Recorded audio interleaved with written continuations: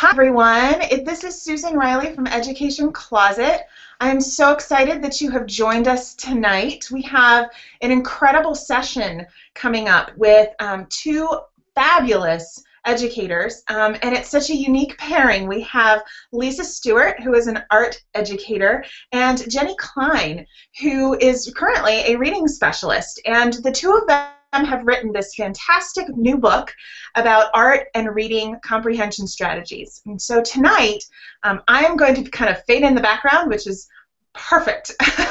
and I'm going to turn it over to both of my colleagues over there, um, and they're going to be talking about their new book and providing you with these incredible strategies. So for the next 45 minutes or so, you are going to be in depth with art and reading strategies.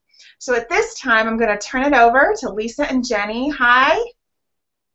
Hi. Hi. Hi. All right, well, come on in and just get us started, ladies. Okay.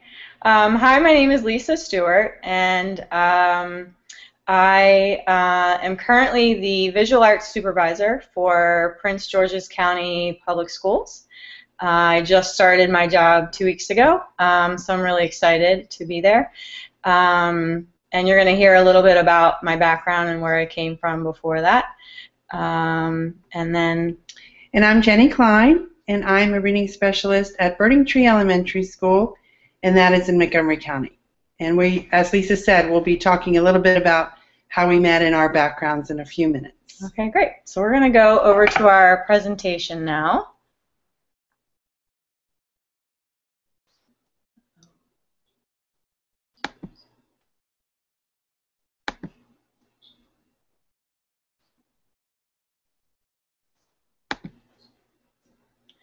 Okay.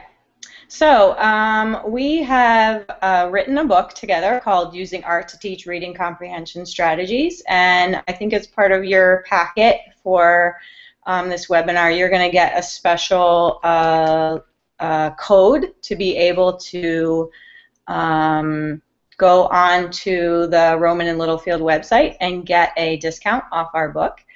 Um, so a little bit of information about our book. Um, we are the two authors. Uh, it was released in January of 2013, so it's pretty new. Um, it is published by Rowman and Littlefield and co-published by the NAEA.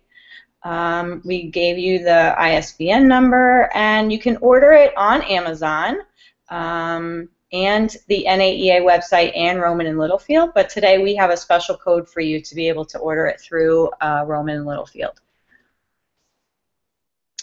So the purpose of tonight's webinar is that we are going to be looking at the connection that we have between reading and art.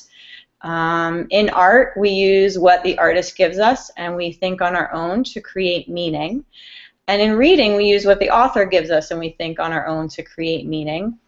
And we believe that art really provides the scaffolding that children need to move from a text-free environment in the art world to a text environment in the reading world. And so the premise of our book really is that um, we have discovered that when we teach um, students reading comprehension strategies through art first in a text-free environment, they really are able to understand it and not get so hung up on the actual words and text um, and are able to understand the strategy and then transfer it to the world of text. So the layout of our book is we have six chapters. Um, chapter one is making connections. then we go to questioning, visualizing, which is what we're going to be working on tonight, uh, inferring, determining importance, and synthesis. Um, and each chapter of our book includes an overview, lesson plans in art and reading, handouts, reflections, and resources. And you'll be able to see that if you um, purchase the book. This one. Okay, so here are the strategies that Lisa just talked about. And visualizing is in red because that's the one that we're going to be talking to you about tonight. So we want to give you a little bit of a history about our project. Lisa and I met at Takoma Park Elementary School where she was the art teacher and I was the um, gifted and talented teacher and the reading specialist. And we came together there to work on our project. Um, at the time, the school was focusing on reading comprehension strategies, and Lisa had two half an hour blocks per week in her schedule. And the principal asked her if she could work with us to develop some um, art and reading comprehension lessons together for the students. Now, Takoma Park was a K-2 school, so we had kindergarten through second graders. So Lisa was able to rotate the children through the classes, and we focused on first and second grade. Um, we also had book clubs at our school, and we were focusing on two books, Mosaic of Thought and Strategies That Work. So we would come together with our teams, which were large since we were the primary school, and we would discuss the strategies and what it meant to visualize and what it meant to determine importance. And we focused on the different strategies. And then we developed the lessons together at Takoma Park Elementary. And so Lisa would teach the lessons in the art classroom, and then we would go into the reading language arts classroom and we would teach the lesson again in the reading language arts classroom. Yeah, and this was really nice because um, at Takoma I was able to teach all my regular art classes um, throughout the week and teach my art curriculum. And then um, I still had pl- enough planning time, but I, I happened to actually have extra planning time. And so because we had this school-wide focus on reading comprehension, the principal asked if I could work with the team to create these uh, reading and reading infused art lessons. And so it worked out really nicely um, to have these kind of 30 minute blocks where all the students came a few times a year. I didn't see them you know on a on a regular basis, but I saw them three or four times a year each uh, to be able to teach these kind of extra lessons for them. So it was really nice. And so then Lisa moved to Cloverly Elementary School, and I moved to Sherwood Elementary School. And the nice thing about that was we were still really close. So we really liked to collaborate. We continued our collaboration, and I had a principal who also really liked, you know, seeing his teachers doing a lot of collaborative work, and he believed in the project. So I had some release time that I'd go over and work with students in Lisa's room. And then at Sherwood Elementary School, we came together and did a summer camp and worked with students there. So we want to talk a little bit about reading structures. I know some of you may have a reading background, and um, you know some of you may not. So the interesting to think about, the interesting thing to think about when you think about reading are kind of the surface structures of reading and the deep structures of reading. And when we talk about the surface structures of reading, that's when children are learning how to read. And we focus on certain strategies, as you can see up on the screen there, when we're teaching children the surface structures using context to figure out meanings, decoding strategies, cross-checking, seeing if what they're saying looks right, sounds right, makes sense. And so those are all the surface structures of reading when children are learning about words and they're learning about language structure and they're learning about um, sentence structure at a text level. And then you have the deep structure strategies of reading, and these are the instructional strategies that we focused on um, in our work together. And the deep structures is all about comprehension. Um, word meanings, constructing meaning at the text level, um, social construction of meaning, and to get children to develop these, the deep structure strategies, um, we focus on, as we said before, the different comprehension strategies, monitoring for meaning, using relevant prior knowledge or background knowledge, determining importance, questioning, visualizing, inferring, and synthesizing. So um, we did do some research, and what we found at the time was that strategies really need to be taught through explicit instruction, that teacher-directed instruction really needs to be done not just with those surface structures for young children, but also in the comprehension strategies as well, and that the reader needs to construct meaning through the integration of what they already know and what they are learning, and one of the big points was that also children can begin making inferences and can begin that comprehension at the very beginning, not just after the literal comprehension is mastered. And Fielding and Pearson also said that the successful program should be teacher directed, that children should have occasions to talk to a teacher and to one another, and that there needs to be opportunities for peer and collaborative learning. So when we planned the lesson, we did you know, we used the explicit model of instruction for teaching the strategy where we modeled it. We gave children time to have guided practice, independent practice, and then work on their own. We did a lot of um, partnering so students could work together, and um, a lot of peer and collaborative learning opportunities were built into our lessons. So just um, to keep in mind some of the connections to the Common Core Literacy Anchor Standards, we put this slide in here. So um, our lessons focus and connect on the key ideas and details and the craft and structure. And also the range of reading and level of text complexity. As you can see, you can differentiate with the students on the text they use and also with the artwork that they use for the lessons. Okay, so now we're going to start um, talking about our uh, visualizing uh, chapter, and we're going to walk you through some of the activities in that. Um, so for our pre-activity, what we would like you to do is trust us and just close your eyes for a minute. And what we would like you to do is to be thinking about a place that you like to visit to relax or have fun. And for just about 30 seconds, we want you to visualize that place in your mind and be thinking and creating a mental picture about what do you see? Are there any smells? Are there any sounds? So we'll give you about 30 seconds to just visualize that place in your mind.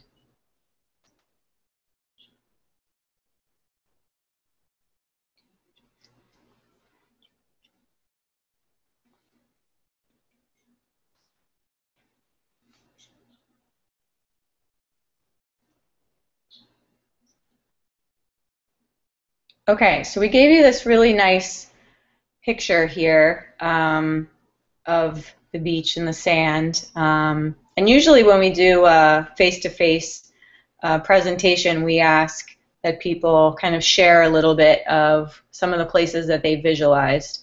Um, and some of our participants tell us that they visualize maybe a cabin in the woods that they go and they visit and they hear birds and they hear the trees uh, rustling as they as the wind goes through them, and so um, we have a really nice kind of way of bringing this alive for children right in the beginning by having them just kind of create a little bit of a mental picture of a place that they've already been to before. Um, so this gets students um, ready to do our visualizing activity. So we're going to talk about the strategy now of visualizing, and we're going to do a visualizing activity. Um, and here we have a little bit of student artwork that we've done uh, with students before. Um, and Jenny, do you want to share a little bit about um, your coach? Sure. So the interesting thing about the strategy of visualizing is uh, if you think on your own when you might use it yourself. And what Lisa's referring to is that I had um, a hockey captain actually um, on a ho- ice hockey team. I played ice hockey um, when I was younger, and she would always talk to her teammates about visualizing, you know, going down the ice with the puck, going around a person with the puck, scoring the goal, and to really have these mental pictures of yourself doing this before you um, go and play a game. Um, and for some people, that was new to them. So, you know, you might think on your own, how do you visualize? Um, when, when are you doing it? I know a lot of you probably do it while you're reading, but where else do you use visualization? Uh, Lisa and I presented at NAEA once, and we had a participant in our section say that this was something that was really difficult for her, that she didn't use this strategy. So I think when we're we're thinking of young children or, or any age children um, or, or our students, we have to think about, you know, are they using the strategy? And how are they using it? And when are they using it? And how can they strengthen their use of this strategy? Okay, so our art and visualizing lesson that we're going to walk you through, I'm just going to review the mastery objectives with you for this. And again, these are um, posted in our book and in the um, e-guide that you'll be getting as part of this uh, resource guide that you'll be getting as part of this webinar. Um, so students uh, in this lesson will be working with partners to verbally describe a work of art while their partner visualizes a mental picture and then draws it. And so this activity with students takes about a, a 45 minute session. Um, and uh, we have also posted essential questions um, in our book as well. How can creating visual images in our mind help us to better understand a work of art? And then we also have several art vocabulary words that we'll be using throughout this lesson as well. Um, in this lesson, the materials that you'll need are a large reproduction of artwork. Um, you can have that either physically as a poster or be projecting it onto uh, a board using an LCD projector or a Promethean board or some sort of interactive whiteboard, chart paper, um, a quick sketch template that we uh, provide in our book, but today uh, we'll just use any um, piece of paper, white paper that you have sitting around. Um, sets of two different prints, and we'll talk to you about what that is in a minute for each pair of students. Um, manila folders. Uh, sometimes um, we have students that put these up as kind of um, privacy folders so that their partner that they're describing the work to can't see um, the work of art uh, 30 plastic chips, and we'll talk to you about what we use that for, and then various drawing materials. And then um, sometimes for students, especially young ones, we really like to post the elements of art and principles of design vocabulary uh, chart on their table or workstation so that they have those words to refer to as they're describing the work of art. Um, and we list those and definitions in our book as well. So first we start by modeling. We usually start all of our lessons by modeling, and um, in this situation, um, when we worked in the classroom together, Jenny and I were able to team teach our lessons, so we were able to do our modeling together. But if you don't have another teacher to do the modeling with, you can just pull a student from your class and ask them to do the modeling with you. And so um, in this situation, we would have a teacher A and a teacher B. And teacher B will have not seen the print. Teacher A can show the print um, to the class so the class can see it. Um, and then teacher B is going to be the one that's doing the drawing. So teacher A is going to describe the print to the second teacher, and then teacher B is going to visualize that print in their mind and create a mental picture, and then record their thinking using a, the quick sketch technique. So what we want uh, uh, students to do and what we want to model here is that we don't want this to be like a complete finished work of art. It's really meant to um, be have students kind of sketch out their ideas pretty quickly. Um, and you'll see an example of that uh, next. So um, then at the very end, then the teacher can take a look and see um, and compare their work to the original one. So we have a description that we're going to read to you and have you all kind of follow along with us as we show you this modeling. And then you're going to get an opportunity to do this for yourself. So Jenny's going to go ahead and read this description to you. And while she's reading it, go ahead and visualize what this work of art looks like in your mind.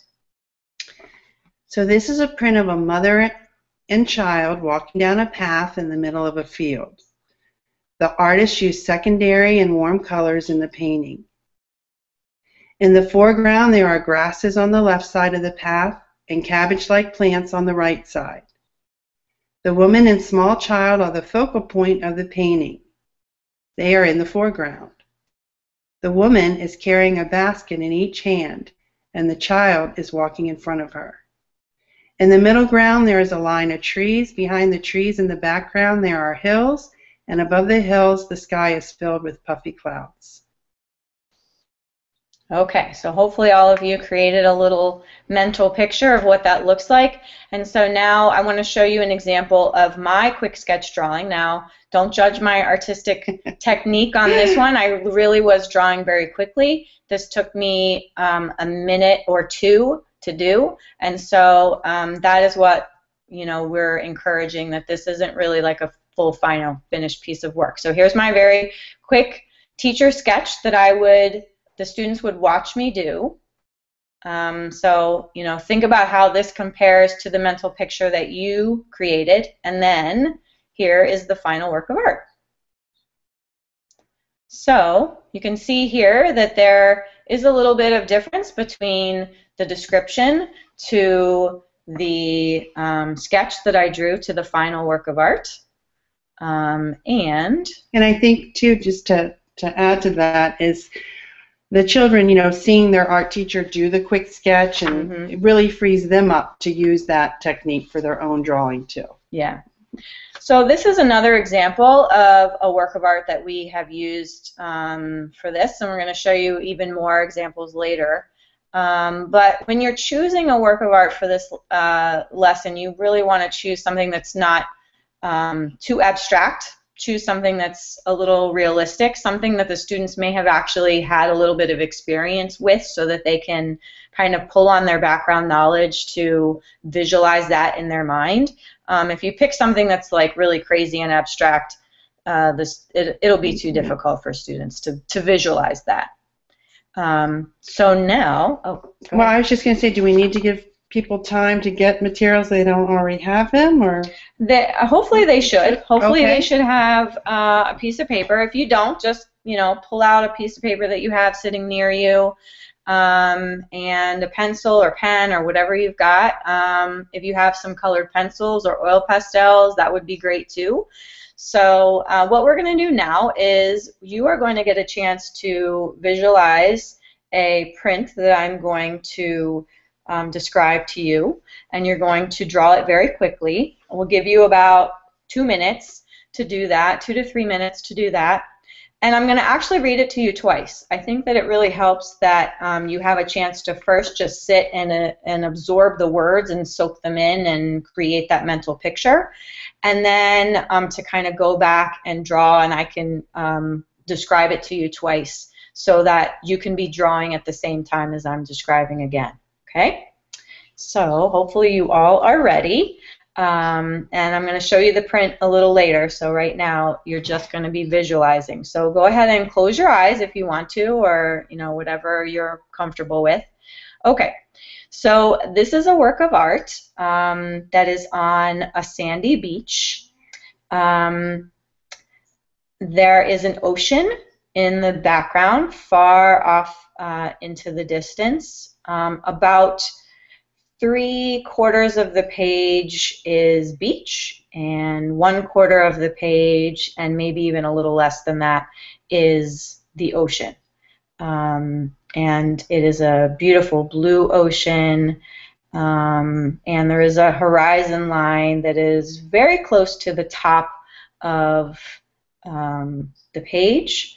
And there are some distant sailboats way off in the horizon, two actually. Uh, one is a little bit bigger than the other. And then it looks like, it's really vague, but it looks like there might even be someone off in the distance in a boat rowing. Um, in the foreground, in the front of the work of art, there are two little girls. They look like they're about maybe two years old. Um, one is facing the viewer, and the other one is turned slightly away, kind of like she's facing back where the ocean is. Um, and they both have um, buckets in their hands, and they're digging in the sand. And the, the little girl that's facing the viewer has the bucket in between her legs, and she is um, taking her shovel and putting it into the bucket um, and looking like she's either pouring in some sand or taking out some sand. Um, they are wearing beautiful dresses on the beach. They're definitely not in their beach uh, um, swimsuits like you would see today. They're in these gorgeous uh, dresses with like a white smock on top. Um, and uh, the little girl in the that's that's behind, that's kind of looking at the ocean, um, has stockings on, and um, the little girl in the foreground um, doesn't have anything on her legs. And they both have, or the the little girl in the foreground has shoes on and red socks and she's looking down at her bucket. Okay, so now that you have kind of created that mental picture, I'm going to go ahead and say it again. Um, I'm going to say it a little bit faster this time because I want to make sure that we also make it to the reading lesson as well. Um, and so you can be drawing why I, why I say it again. So again, uh, this time get out your materials and, and start your drawing and hopefully you already have. So three quarters of the page again is sand and about one quarter on the top. Uh, what I didn't say before is that this um, work of art is uh, it's horizontal and I'm sorry, it's vertical and not horizontal. So if you haven't turned your page, I guess you could turn that now. But um, so three quarters of the page is sand and one quarter is uh, the sky, I'm sorry, the ocean, and then the, a little bit of the sky. And um, think about those boats in the background and the man rowing or woman rowing in the ocean, and then the two little girls, and um, one in the facing the viewer, looking down at her bucket, digging into the sand in her bucket, uh, wearing her dress and her smock. Her dress is blue, and then she has this white smock, but you can only see like the rim of blue on her arm, um, and then a little bit on the bottom of her outfit. Um, what I didn't say before is that the little girl that's facing uh, the ocean um, is wearing this um, yellow hat with a bright red ribbon around the outside of it. Um, so you can add that as well. Okay, I hope that you have a little bit of a description of what's going on. What we'd love for you to do at some point is post this on a Padlet page, and I'm going to give you that URL in a minute. Um, and we'll talk about how you can actually do that to share some of the artwork that you've created. Um, so I'll give you about 30 seconds to finish up your work of art, and then I'm going to show you, I'll reveal the picture.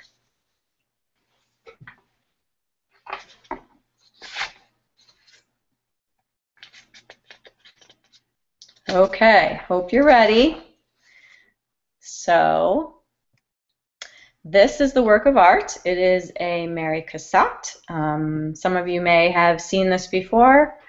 Uh, it's one of my favorite. I love Mary Cassatt. I think she's an amazing painter.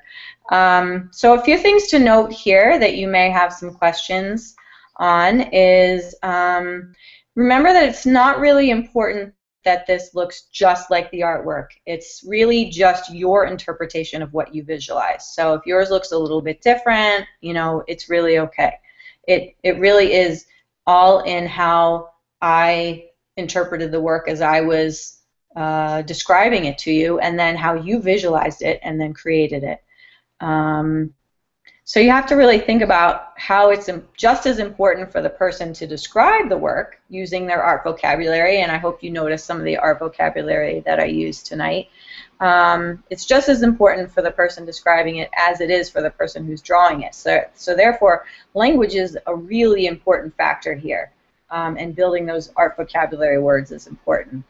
Um, it's really not about a step-by-step following directions. It's not about put this here. Okay, next we're gonna put the sun in the left-hand corner and put the, you know, put the ocean, you know, here and put the bucket here. It's really having you kind of create that mental picture and then you drawing it. Um, and then think about this as kind of the game of telephone. So you know, if you ever play the game of telephone before, somebody has to start with a message, and then as it kind of goes down the line, it gets kind of reinterpreted, and then when it comes out at the end, it's very different than it started.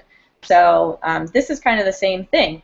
You have a student who is uh, looking at the work, interpreting it into words, putting it into words, translating that to uh, someone. You're visualizing it, creating that mental picture and then you're drawing it. So it's kind of like the game of telephone where it changes a little bit as it goes um, throughout.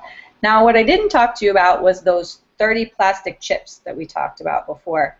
Usually what we have students do now is trade, and so um, each person will get an opportunity to go through this activity. But since we're doing this kind of uh, webinar style, um, uh, we aren't able to do that tonight. But the plastic chips are really for students, kind of as a game for them to ask clarifying questions. So to the person who is describing the work of art, I, as the artist, could cash in a plastic chip and say, tell me a little bit more about the colors in the sand. You know, what kind of colors should I use there? Um, and so they're able to kind of ask clarifying questions. We came up with three just because we didn't want there to be like 30 clarifying questions. Um, so we thought three was a nice number. So you can provide some plastic chips as kind of a, a game for them to cash in on some questions. So here are some of the art vocabulary words that you might want to emphasize and work on uh, for this lesson. Um, and then these are some other examples that we've used before um, with students. And you can see that they differ in their level of complexity. Um, so, you know, we have something very simple as a still life with apples, and then we get a little bit more complex, like um, Vincent van Gogh's bedroom, where there's a lot of items and a lot to draw, and you kind of bring in perspective, which gets more complicated. And so um, you can differentiate using the works of art that you choose to use with students. You might choose something a little bit more simpler as you do this for the first time, and then if you're going to repeat it, you could um, get more complicated with your works of art, or you can do simpler work with kindergartners and more difficult work with high school students. It really just depends um, on your student's level of ability. So now we're going to take a virtual gallery walk um, and what we'd really like you to do, you don't have to do this right now, but at some point um, tonight or tomorrow or the next few days, what we'd love for you to do is just take a quick shot of your sketch and post it on our Padlet site. Um, so I can go to that really quick so you can take a look. Hi. So this is our Padlet site. Oh, not yet. This is our Padlet site, and what you do is you using using the link that um, we provided in the packet. You just double click. You can add your name, post a title for your work, or you know whatever you want to tell us about it. You can even write something, and then you can upload a file right here and share a, uh, uh, your drawing that you did. And so this will be our virtual gallery walk that we'll be doing. Um, so feel free to add your drawing to our Padlet site, and we'll leave that up. Uh, I, I, we won't take that down, so that can just stay up forever. Okay. Hi. All right. So, Susan, at this point, are there any burning questions before we move on to reading?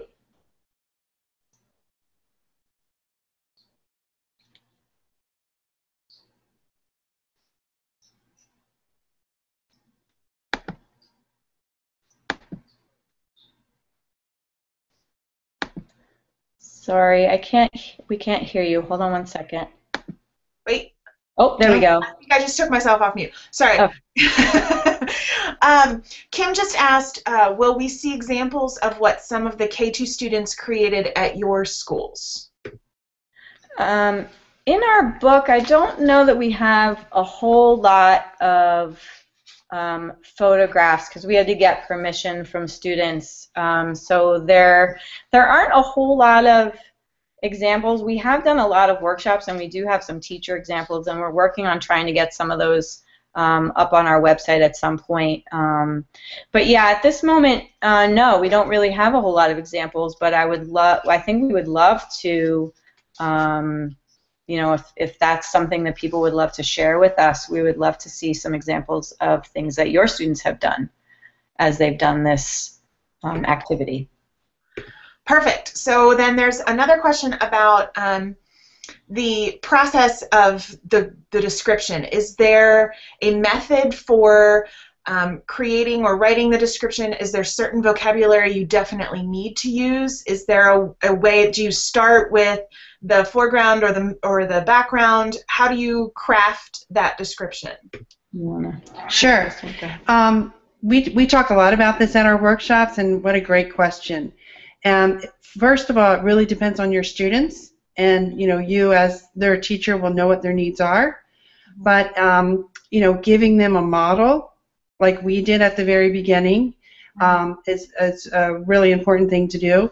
Uh, one of the things that we have talked about, depending on what prints you have, you can look at it yourself and give them kind of key vocabulary that would go with that print that they could use so they could you know develop their description based on that and you know i think the first time you do it you know telling them maybe to start in the the foreground or telling them to start in the background is you know giving them guidance um, is important too if they haven't had a lot of experience doing this. Mm-hmm. So, um, you know, using the vocabulary cards, um, using your the the you know doing the model yourself, and then you know training them to talk about the print in a certain way would be very helpful. Um, you can see just by that this. Um, and I think Lisa mentioned this before, that this activity really has a lot of language there. Mm-hmm. Um, it builds on language. So if your children need support, then you know go ahead and put those supports in for your children. Which actually takes me to my the last question before we keep going with your presentation. So what about for um, ELL students or special education population that may not have that kind of robust vocabulary? Does this, first of all, does this encourage or does it build that or do you ever find that to be a stumbling block in using this kind of a method? That's a great question, and I think the, the first step there is to look at the art you choose. Like still lifes would be really good, simpler paintings, so that, you know, and maybe with them also using language frames, so that you could kind of model how they could talk about a print. Um, maybe you want to pick one artist, and so then you mo model using that one artist's work and then they'll have another similar piece by the artist where then they could apply what they saw you do. But using language frames, giving the vocabulary, and you could kind of see the difference between my description of the print that Lisa did and her description for the one that she did. Um, it was simpler, you know. So we've also talked with um, people about giving time, like we went right into it, where you know, you look at the print and then you describe it to to your partner right away. But maybe one day all you do is have your child look at the print and decide what they're going to say about it, and that's enough for one day, mm-hmm. using the, the you know supports that you give them. But it definitely can be used for ELL, and you can see how um, much language that they that they they could develop through an activity like this. Mm-hmm. Perfect. Okay. Keep going, ladies. All right. so back to our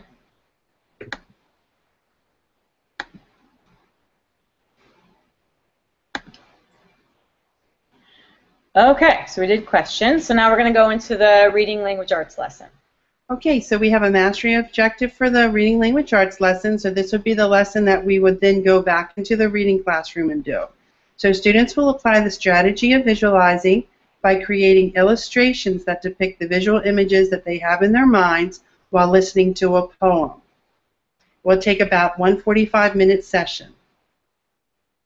So the materials that you'll need are descriptive phrases, three poems of different length difficulty copied onto chart paper, because we want to differentiate the poetry like we did with the artwork, paper for modeling, and paper for the students' illustrations, and art materials like pencils, crayons, and erasers.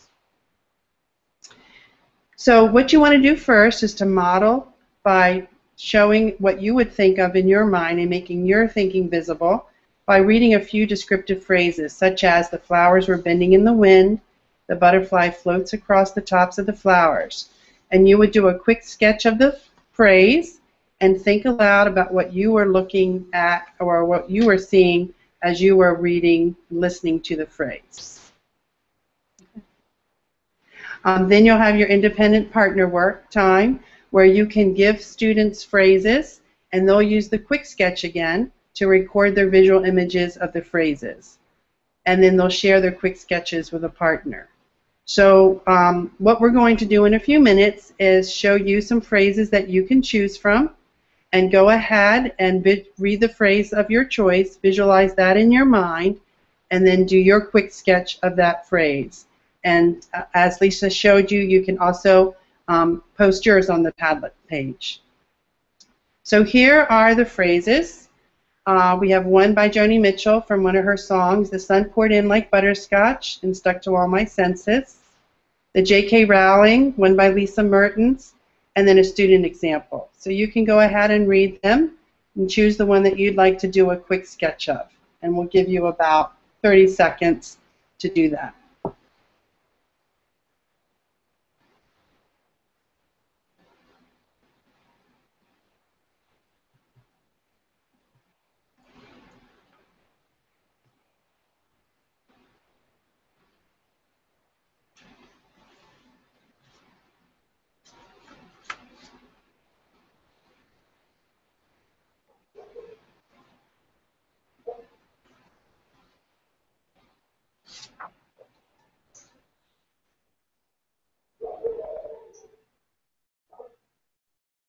Okay, so um, we know you might have gotten a quick sketch done, um, and you can go ahead and post those to Padlet.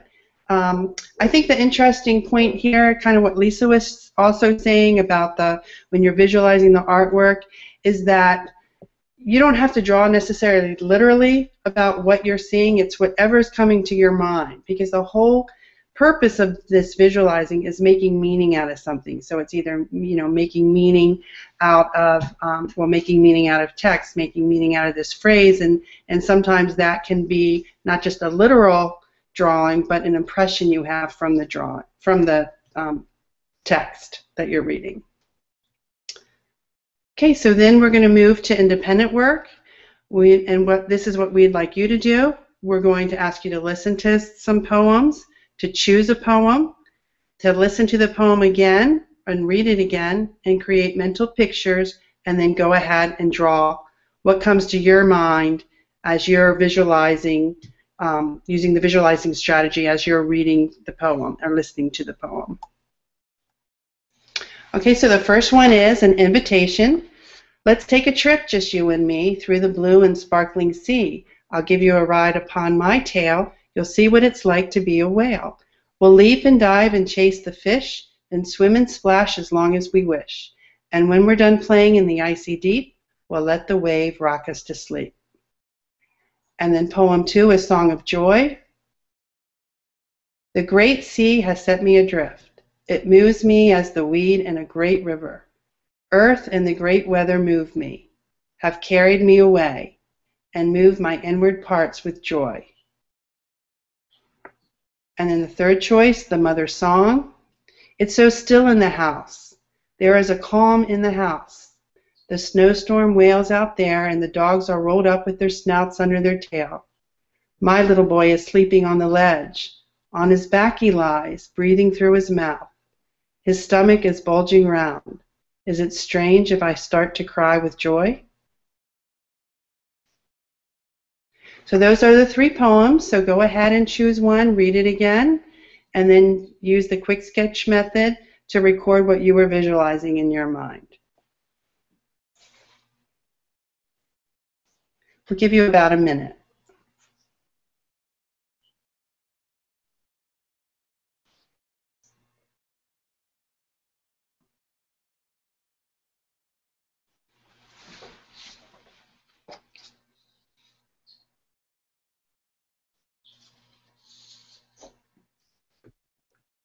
Ladies, as they're doing this, just a quick question. Can you use this at all levels? Is this K-12 or um, is it really in kind of focused on elementary? Oh, definitely K-12. In all of our workshops, we've had K-12 teachers. Mm-hmm. Um, so you would just, you know, depending on the age of your students, you would pick the artwork that was appropriate for their age and also the poems as well. Okay, perfect. Just wanted to make sure that was clear for everybody. Mm-hmm.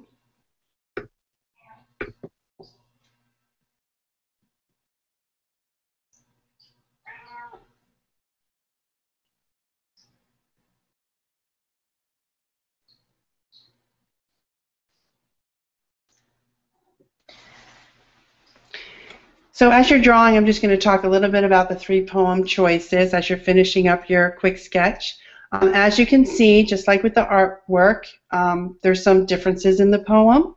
Uh, the first one is it's very literal. Um, a lot of times people choose that one, which is fine.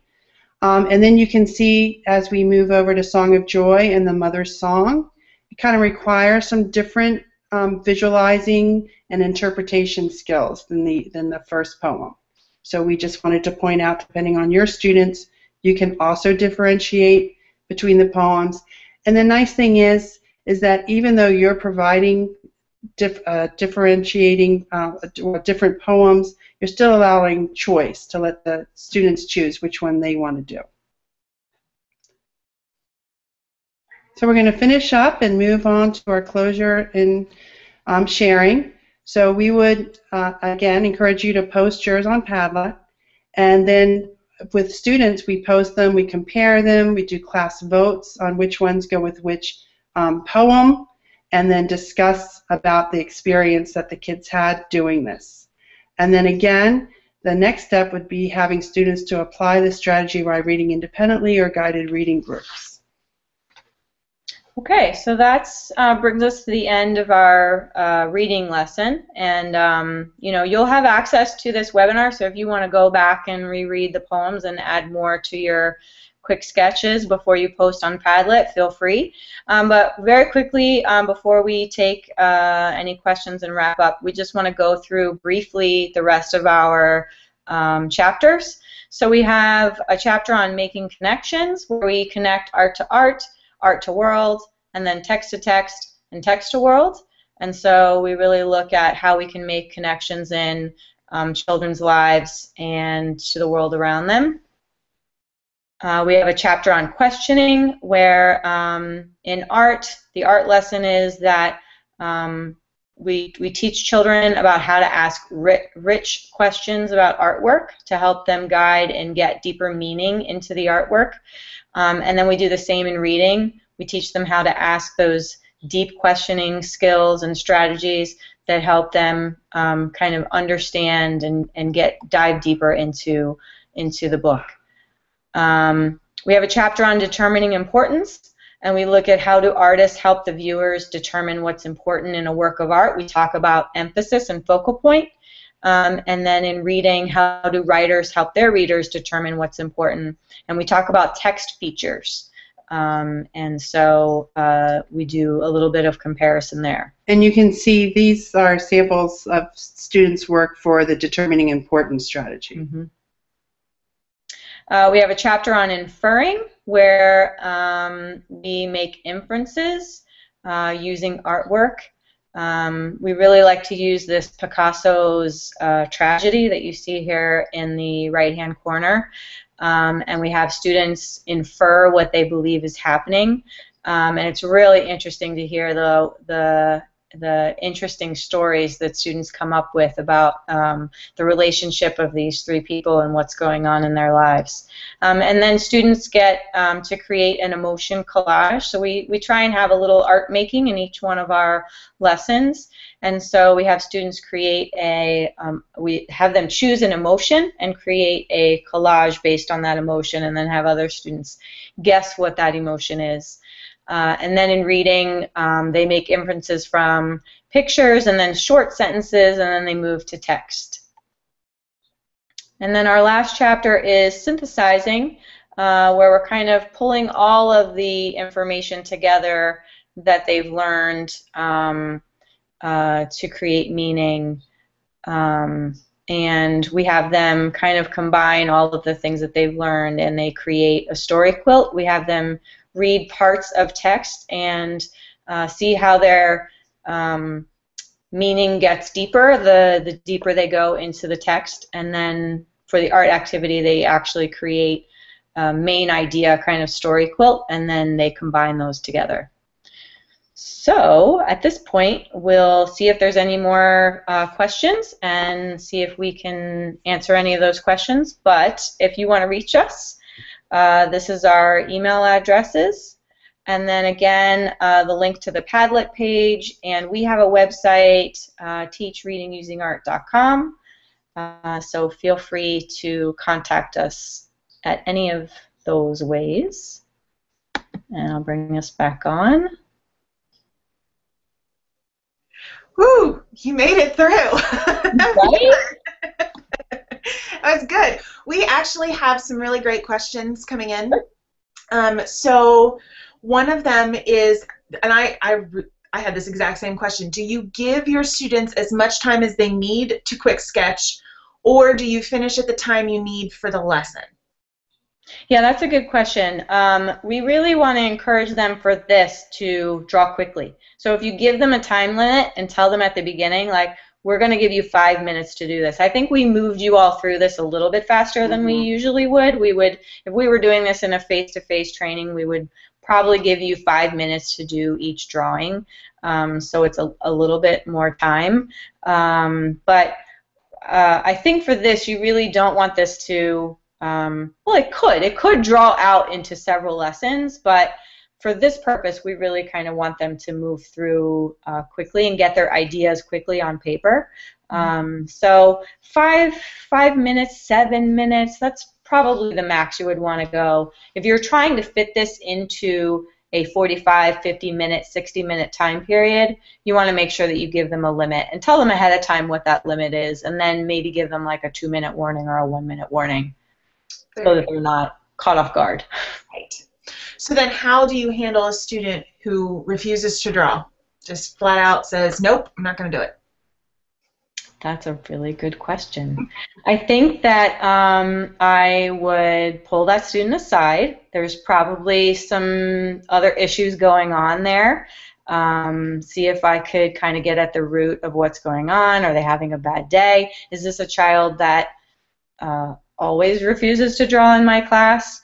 Mhm. Um, sometimes it's the subject that they're drawing that um, has them scared. I think with this, though, there really is no wrong answer. It isn't like we're all drawing humans and, you know, oh, I can't draw people. I always get that all the time. I can't draw people, you know? and so um, with this, it's really just their interpretation, you know? If they want to draw um, whatever it is that they're visualizing in their mind, I think is fine. And so, um, so far, I haven't had a child that's been apprehensive about doing this drawing activity. Um, but I think that you know I would try and work with that child in you know really like what's going on or what's what is the difficult part that you're having. Can I maybe draw an example on the side for you that you can refer to, um, or what I break things down into shapes. So what are the shapes if you're drawing a person where do where are we going to start with this person what are the shapes that you need to draw so i try and kind of break things down into their simple parts before um, having them and then they can kind of construct from there Okay. So then, um, and then another question is about what kind of art teaching background did your students have at the schools where you developed your book? I think that's a Um, really good they question. had art since uh, kindergarten, Mhm. Um, some of them may have had we did have pre-k Mhm. um, at Takoma. Takoma Park. So a few of them may have had the pre-K program, and we do have art for our pre-K students. Um, so if they were with us, if, if I taught them in second grade, then they had had art since at least kindergarten and possibly even pre-K. So a few years of art education. But do you feel like that's a necessity? I mean, there's people out there that they might get art once a month if they're lucky, or they're teaching art on a card and they don't have those, you know, all of the resources maybe. So, Well, one of the things that we did in the book is we talked about um, how you can teach this. So if you're in a school and you're not an art educator, we've given the background of the of the different um, art vocabulary that they could use on their own, so that if you are a classroom teacher, you can teach this on your own, or if you are a reading teacher and you didn't have, I mean, an art teacher and you didn't have a partner, you could also do the reading Reading lesson. part on your own as well. okay, got it. Um, another question: When the students are drawing, this is coming from Kim, by the way. Kim is a rock star with the questions tonight. I'm just putting it out there. when, when the students are drawing, and I'm walking around the room, and I see someone drawing something that I can't connect with the artwork or the poem, do I say something or do I let it go? I think I would definitely let it go. Um, and then, you know, because, and we've seen this. I mean, even working with adults, Mm-hmm. their interpretation might be something different. So, um, you know, I mean, of course, as long as it's appropriate, you know. Um, you know, no, but I'm saying, you know, I- if it was really, really far off and you could really not make a connection, you, like Lisa said before, you might pull that stop child privately and have a conversation. But we do find that there's that the, the, the as long as they can give evidence of how it connects, that's what we're looking for. especially in the poems like the one i think it's called um, song of joy.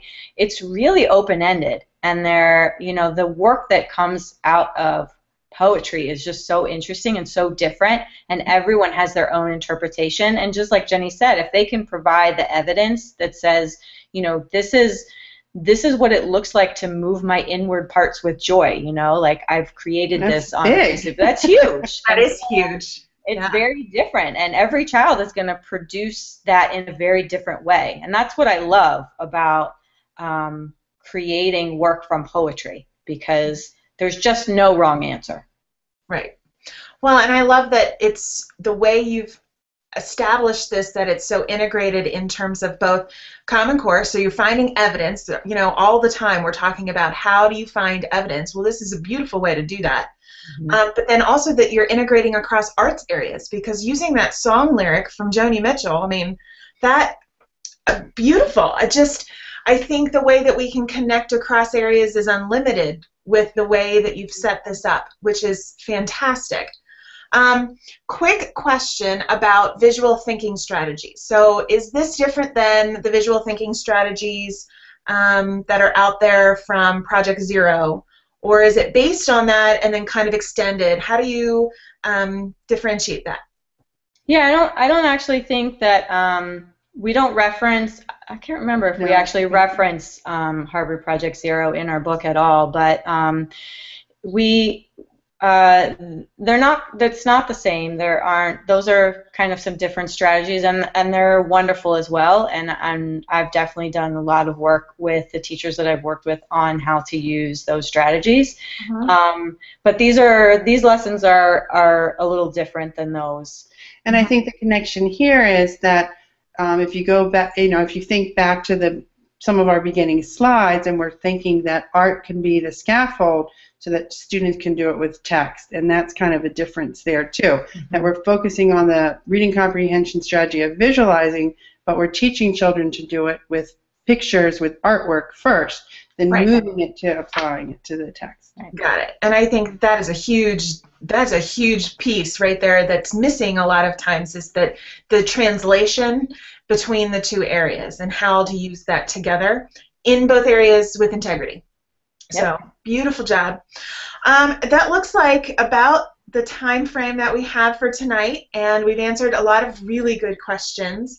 So um, thank you so much, ladies, for all of your work and for sharing your time with us tonight. We really appreciate it. Um, I'm going to do some quick. it was a lot of fun Yeah, thank you so much. Yes, this is wonderful. I'm going to do a couple quick housekeeping things. Um, so just hang on one second. Sure. But in the meantime, um, you can get in touch with um, both Jenny and Lisa using the resource guide that we've posted. Just copy and post or copy and paste that link that's in the uh, chat up into your browser, and you can download that if you have not already. Um, they have all of their contact information in there, as well as their website and the Padlet uh, link. So feel free um, to go ahead and use that. Uh, that's included with your registration. Additionally, you're going to be receiving an email within the next 30 minutes or so with a certificate for your PD hours. If you don't receive that, please email me, susan at educationcloset.com, and we'll get it to you directly. That way you can get credit for this evening. Um, and additionally, I'll also send out an email tomorrow with a recap of the um, event as well as the links in case you need them one more time and where you can find the archive of this presentation. So if you want to go back and review it at any time, you can. So with that, we're going to close out tonight. Oh, uh, ladies, one last question from Teresa. Um, this is, um, she, she said, I do not recall how you introduced this, but is this a one class activity or have you used this to lead into a larger lesson project unit? Um, could see this leading into print make, making project very nicely. So how do you how do you use this specifically? Yeah, I think so far we've done this um, as kind of a, one lesson in art and then moving into one lesson in reading. But I think it could be done multiple times throughout the year. I think the strategy of visualizing, you can keep coming back to it. And so it's not it's it's something that you can continually do. It's, you know, in, in any of your lessons, as you're starting any new lesson, you could really have students visualize um, you know, as it pertains mm-hmm. to that activity or that new lesson that you're teaching. So um, I think absolutely it can be used throughout the year. Great, great. All right, everybody. Thank you so much for joining us tonight, and uh, I hope you've gotten a lot of out of this presentation. I know I have. Thank you so much to Lisa and Jenny, and until next time, we'll catch you on the other side. Thanks, everybody. Good night. Bye. Bye.